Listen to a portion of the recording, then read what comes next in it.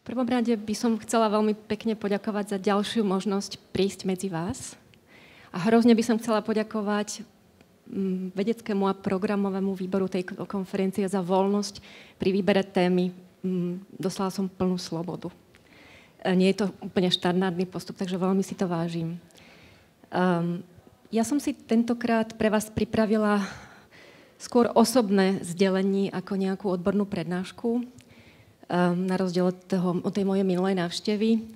Aj keď si myslím, že fakty a informácie a, a štúdie sú nevyhnutné pre kvalitňovanie starostlivosti, ale z mojej skúsenosti to, čo sa dotýka životov ľudí, um, to, čo sa dotýka našich srdc, to, čo nás motivuje a to, čo nás inšpiruje, bývajú zvyčajne veci zážitkové a veci vzťahové.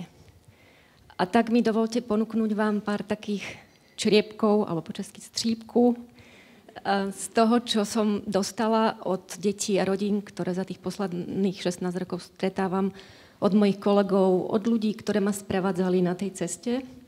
A moc, moc by som si prijala, keby aspoň jedna malá vec oslovila aspoň jedného z vás, ale viete, ako to je, keď prídete na domácu návštevu a staráte sa o nevyliečiteľne choré dieťa, prichádzate s nejakým cieľom a dobrým úmyslom a ostatné našťastie nemáte pod kontrolou. Ešte asi by som poprosila o...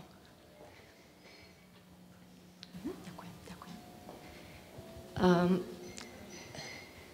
takže o čom je vlastne cesta lekára, alebo asi v zásade kohokoľvek, čítanie dobrovoľníkov, ktorí starajú sa a sprevádzajú nevyliečiteľne choré deti. Myslím si, že táto cesta v mnohom zrkadlí, alebo cesta ľudí, ktorých, ktorí pomáhame a ktorí sa staráme o nich, mnohom zrkadlí cestu detí a rodín. Inak povedané, to, že možno vieme o niečo viac, ale v mnohom sme rovnakí. A vďaka tomu sa dokážeme na nich napojiť, vďaka tomu im dokážeme pomôcť um, a vďaka tomu oni pomáhajú nám. Tá cesta má svoj začiatok a má aj svoj koniec, ktorý, teda hovorím o ceste nás profesionálov, ktorý mnohokrát, tak ako aj koniec detí, nie je ľahko predvídateľný. Ako dlho budeme pracovať v tejto oblasti, koľko to ešte dokážeme robiť. Na tejto ceste, podobne ako aj deti, nedokážeme, alebo rodiny, nedokážeme kráčať sami. Som presvedčená, že ak chceme dlhodobo pomáhať nevyliečiteľne chorým deťom a ich rodinám, tak táto pomoc je, alebo práca, alebo poslanie je možná len v rámci tímovej spolupráce. Aj my potrebujeme ľudí, ktorí nás budú sprevádzať, ktorí nás budú podporovať a ktorí to s nami budú zdieľať. Ehm, na tejto ceste prežívame radostné aj bolestné chvíle a čaro niekedy života je v tom, že, ako ukážem potom neskôr, že si myslím, že sa dajú prežívať zároveň. Ehm, na tejto ceste dávame aj dostávame a ale nie je to až také jednoduché, ako to na prvý pohľad vyzerá. Tiež by som sa k tomu rada vrátila. A na tejto ceste, podobne ako deti a rodiny osobnostne rastieme a v múdrych učebniciach sa píše, že deti, ktoré, alebo rodiny, ktoré sú pod tlakom existenciálneho utrpenia, dozrievajú ďaleko skôr, tak sa mi zdá, že aj my, profesionáli alebo dobrovoľníci, aj keď nemám žiadne data a žiadne štúdie v ruke, porovnaní možno s inými oblastiami medicíny alebo pomáhajúcich profesí dozrievame a trúfam si povedať, že mnohí z nás rýchlejšie ako naši vrstovníci alebo naši, naši kolegovia. Možno je to odvážne tvrdenie, ale za tých x rokov, kde mám možnosť pozorovať aj seba, aj iných, sa mi zdá, že predsa len kráčame a dozrievame a že sme iní, ako keď sme na túto cestu vstúpili. Um, poďme sa spolu pozrieť na začiatok tejto cesty, Začiatok každej cesty tu na Zemi sa zvyčajne spája s ľuďmi. Ľuďmi, ktorí nám potvoria dvere, aby sme na cestu vstúpili, ľuďmi, ktorí nás inšpirujú, ktorí sú možno pre nás vzorom, um, ktorí nás prevádzajú a podporujú, alebo ľudia, ktorí nám ukazujú, ako to robiť nechceme. A tak si položme otázku, ktorým ľuďom každý z nás sám za seba vďačíme za to, že sme na politickej paliatívnej starostlivosti. Akým spôsobom túto vďačnosť dávame najavo? Vedia a cítia títo ľudia, že sme im vďační? A keď som sa sama na touto otázkou zamýšľala, tak som si hovorila, že možno sú to najmä moja rodina a moji rodičia a moji najbližší, ktorými som prežila kus času a ten čas ma sformoval tak, že som vstúpila na toto pole.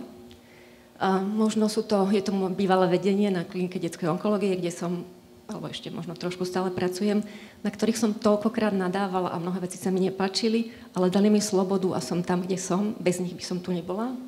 Sú to, sú to hlavne deti a rodiny, ktoré som stretávala a stretávam. Sú to moji kolegovia, priatelia, známi, možno sponzory. Je proste veľa ľudí, ktorí ovplyvňujú náš osud a ktorí si myslím, že si zaslúhujú našu vďačnosť.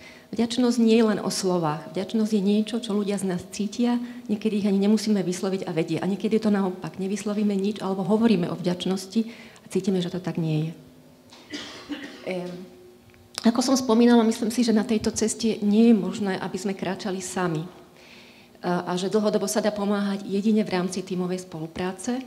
Čo je to tým? O tímoch existuje veľa publikácií a veľa prednášok, ale asi zjednodušene povedané by, som, by sa dalo povedať, že je to skupina ľudí, ktorá má spoločný a jasne definovaný cieľ. A, mm, čo to vlastne je u ktor- tej ktorej rodiny? to, čo im pomôže, čo je pre nich dobré, čo im reálne môžeme ponúknuť, tak to býva často predmetom dlhých a niekedy aj burlivých debat. Aspoň keď hovorím za, um, za nás teda a za plamienok a za teda pracovisko, kde, kde má možnosť pracovať. Čiže um, mať spoločný cieľ v detskej paliatívnej starostlivosti v rámci týmu nie je jednoduchá úloha. Um, a je to cesta, ktorou musíme prejsť, aby sme sa k nej dopracovali. Tým je skupina ľudí, ktorá zároveň dokáže zdieľať. A to nie len to odborné, ale aj to vnútorné a to zraniteľné. A zdieľať vlastnú zraniteľnosť medzi svojimi kolegami nie je štandardom pri poskytovaní zdravotnej starostlivosti. Je to niečo, čomu sa treba učiť a možno čomu sa treba otvoriť. Um, u nás v Plamienku v, v domácom týme v tejto chvíli je 10 ľudí Máme 5 lekárov, hľadáme sestry, neviem, mám dve zdravotné sestry, máme dvoch sociálnych pracovníkov a jedného pedagóga. Ale chcela by som možno len zmieniť, že najväčšia záťaž e, pri nesení krízových situácií, pri službách, pri akútnych intervenciách je najmä na zdravotníkov. Čiže psychická aj fyzická záťaž nie je rovnaká pre, na jednotlivých členov týmu a je možné si to dobre uvedomiť potom, keď, sa, keď človek premyšľa, ako by sa o nich mohol postarať. Tak to je len tak akoby z hrdosti. My sme mali strašne dlhé obdobie, kedy sme naozaj hľadali lekárov, tak toto je fotka pred dvoch mesiacov asi. Tak to vyzerá dnešný náš tým. Sú to mladí ľudia a inventár v strede. A na tejto ceste dávame aj dostávame, ale myslím si, že to nie je tak jednoduché, ako to na prvý pohľad vyzerá. Keby to bolo jednoduché, ľudia by nevyhoreli. A keďže to riziko existuje pre každého z nás, je možno, trošku sa, je možno dobre trošku sa pozastaviť a zamyslieť sa nad tým. Keď si predstavíme život človeka, prosím, berte ten graf s rezervou, je to naozaj len orientačná schéma, ktorá by mohla pomôcť zamysleniu. Tak keď si zoberieme život um, človeka, ktorý sa narodí, malého dieťaťa, tak jeho životná energia prudko stúpa, deti sú ako neriadené strely a potom časom pomaly klesá, až teda klesne na nulu Eh, u každého samozrejme rôzne rýchlo a, u, a nie je to lineárny pokles, ale faktom je, že klesá u každého. Čiže toľko energie ako, a takého, takej vnútornej sily, ako keď sme mali 20 a keď máme 40 alebo 50 alebo viac, našťastie nemáme. A teraz, keď prídeme do rodiny, v ktorej, alebo nemocnici, kde zomiera dieťa, tak vydávame energiu. Jednak je to námaha fyzická, keď hovorím za náš domáci tým, musíte dvíhať, musíme dvíhať telefóny v noci, nespíme, e, človek šoferuje, čo je tiež námaha, príde tam, vráti sa naspäť. Nie vždy sa dá okamžite zaspať a oddychnúť si, pretože človek zažije čosi, čo je ťažké, takže to trvá. A to všetko stojí energiu. Keď prídeme do rodiny, tak zdieľame alebo napájame sa na čosi, čo býva aj bolestné. Je tam niekedy mnoho smútku, bolesti, beznádeje, zúfalstva, niekedy hnevu, niekedy frustrácie. Um, a ak takejto rodine máme pomôcť, tak musíme vnímať a dotýkať sa na, dotýka nás to. Nedá sa tam prísť a tváriť sa, že sa nás to, že to po nás proste stečie. Vtedy takejto rodine nepomôžeme. A ďalšia vec je, že každý z nás má mm, za sebou svoj vlastný životný príbeh, e, svoju vlastnú súkromnú bolesť. A niekedy bolesť rodiny rozoznieva to, čo každý z nás v sebe nosíme. A potom sa môže stať, že tieto, alebo sa aj stáva, že tieto dve veci sa sumujú že to nie je len o bolesti rodiny, ale že je to aj o bolesti našej osobnej, ktorá nesúvisí priamo s osudom rodiny. Samozrejme, že tieto návštevy alebo tieto stretnutia nie sú iba o bolesti, sú tam aj radostné momenty, zábavné momenty, ale akejkoľvek rodine, ktorá má dieťa, ktorého život sa blíži ku svojmu koncu alebo je ohrozený, bolesť je vždy prítomná. čiže aj v tých radostných chvíľach, niekde v pozadí, v hĺbke, je kus bolesti. Čo od takejto rodiny dostávame, alebo čo od detí dostávame? Dostávame mnoho. Keby sme nedostávali, tak sme to nevedeli dlhodobo robiť, pretože zákon zachovania energie nás nepustí. Ale myslím si, že dostávame, nechcem to úplne zovšeobecniť, kvalitatívne inú rovinu. Dostávame, ja neviem, dôveru, vďačnosť, pocit blízkosti, pocit naplnenia, zmyslu, ocenenie od tých ľudí. A je to hrozne príjemné, je to energeticky nás to nás to posúva hore, ale e, kvalitatívne mnohokrát je to iná, iné, iné dostávame, ako dávame. A umením dlhodobej práce v tejto oblasti je pokúsiť sa to, čo dávame a nedostávame od rodín, dostať niekde inde. E, v našich súkromných rodinách, od priateľov, známych, e, kolegov alebo od, od neviem, našich vlastných detí Um, a moje pozorovanie je, že nevždy sa nám to darí. Že je to náročné, ako si to uvedomiť a naozaj sa otvoriť pozícii, že ja potrebujem dostať a nie som ten iba, ktorý dáva a pomáha. Že je to výzva, ktorú ak sa nám podarí dosiahnuť, tak máme väčšiu šancu, že v tejto oblasti budeme robiť. A myslím si, že každý z nás v určitom čase príde na hranu a limit, keď sa ho táto výzva osobnosť, osobne dotýka. Čarovným slovíčkom detskej paliatívnej starostlivosti pre mňa je slovo zmena. Že si myslím, že ak túto zmenu vnútri neprežívame, nedokážeme dlho pôsobiť v tejto oblasti. A tak u nás v Plamienku je to slovo premielané niekoľkokrát a snažíme sa ju stimulovať eh, aj vonkajšími inštitucionálnymi zmenami alebo, alebo systémami a, a samozrejme aj vnútorne. Pokiaľ napríklad hovorím za lekárov, tak uh, u nás každý lekár pracuje aj mimo uh, plamienka, aj mimo teda domáceho hospicového týmu. Ako ste videli, sú to ľudia mladí a myslím si, že prirodzené pre tento vek nie je iba pracovať v oblasti konca života, takže sa snažíme nielen, aby získali skúsenosti z kuratívnej medicíny, ale aby aj zmenili prostredie pre ich psychickú pohodu a balans. Um, snažíme sa dodržiavať, nie vždy sa nám to darí, uh, hodiny, presný rozpis práce. To znamená, prídu do práce a odídu a nechceme, aby pracovali dlhšie. Chceme, aby išli žiť svoj vlastný život, ktorý, ak sa dá, podľa možnosti nesúvisí s tým, čo pracujú. Um, snažíme sa, aby si vzali dovolenku. Je to povinné minimálne dva, tí starší lekári štyri týždne cez prázdniny, aby mali v kuse, či sa im to páči alebo nie. Musia si na to zvyknúť. A každé tri mesiace, ak sa to dá, plánujeme niekoľko dní voľna pre každého lekára. Je to náročné tak, aby sme zabezpečili starostlivosť o všetky deti, takže plánujeme to už v januári. Každý z nás máme, sme pod supervíziou, čo je hrozne fajn. Každý, celý tým prechádza vzdelávaním, kde sa o tých veciach hovorí.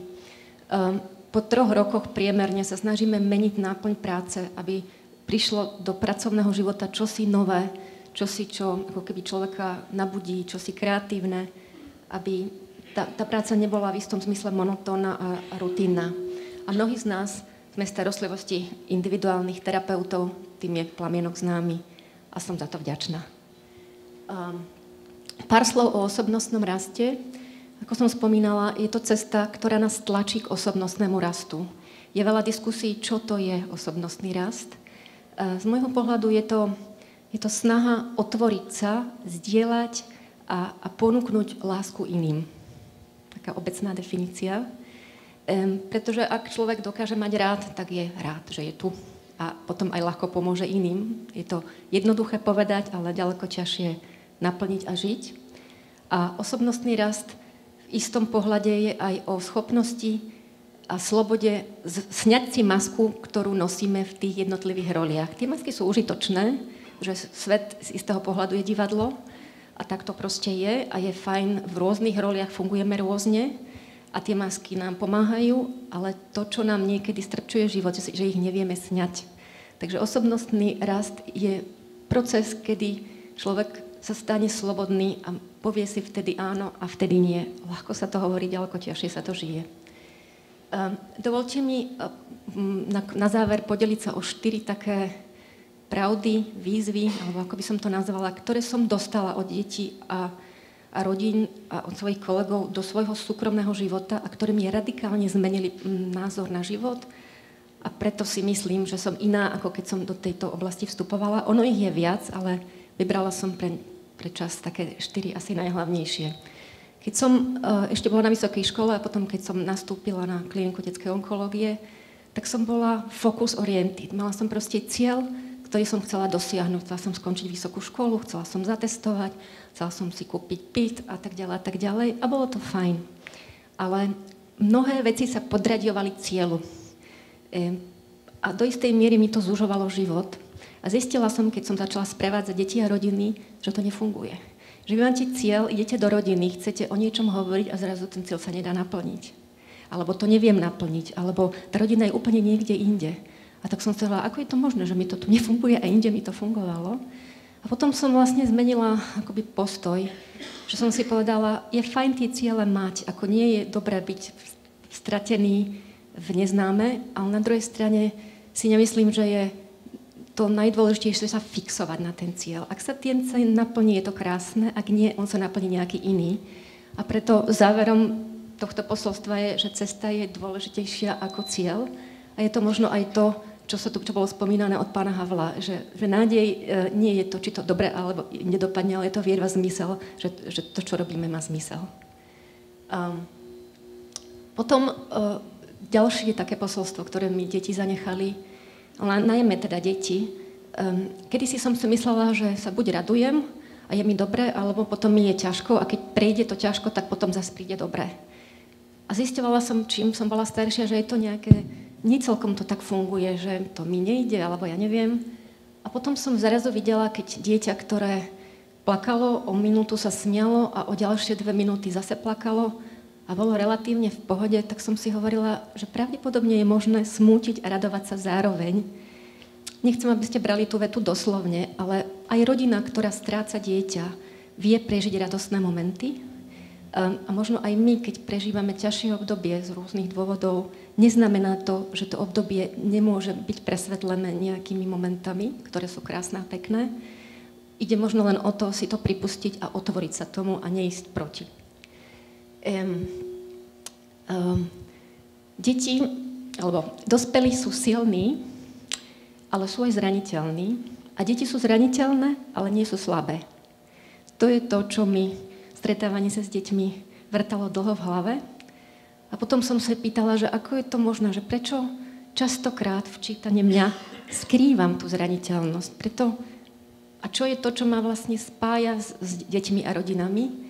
A uvedomila som si, že je to vlastne ochota otvoriť sa zraniteľnosti. Aj v rodine, aj v rámci týmu. Nie je to jednoduché, lebo výchova, možno, možno celý ten systém vzdelávania, to, čo počujeme v televízii, o tom sa bežne nehovorí a ľudia to neradi robia, ale ak sa dokážeme otvoriť zraniteľnosti, tak v podstate nemáme masku na sebe. Sme tým, kým sme a život zrazu býva oveľa ľahší. A tak sa pýtam, čo sa nám vlastne môže stať. No a posledné také posolstvo, ktoré mi chodí hlavou hlavne v poslednom období, keď stretávam deti, ktoré buď niekoho blízkeho stratili, alebo rodičov, ktoré stratili dieťa, je, že si myslím, že existuje e, spôsob, alebo respektíve cesta, ako premeniť bolesť na lásku. Um, nie je to asi cesta jednoduchá a v podstate tá naša pomoc pri sprevádzaní detí a rodín um, je o tomto.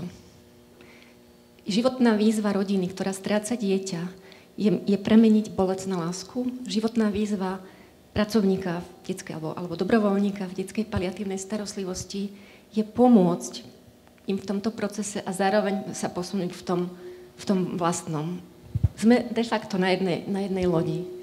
Um, rodiny, ktoré má možnosť stretávať, nie všetky, ale mnohé z nich, niekoľko neviem, mesiacov, ale častejšie rokov po strete dieťaťa, ktoré žiaria, ktoré síce majú v sebe nejakú bolesť, ale sú niečím oslovujúce, sú dôkazom toho, že je to možné. Ďakujem za pozornosť.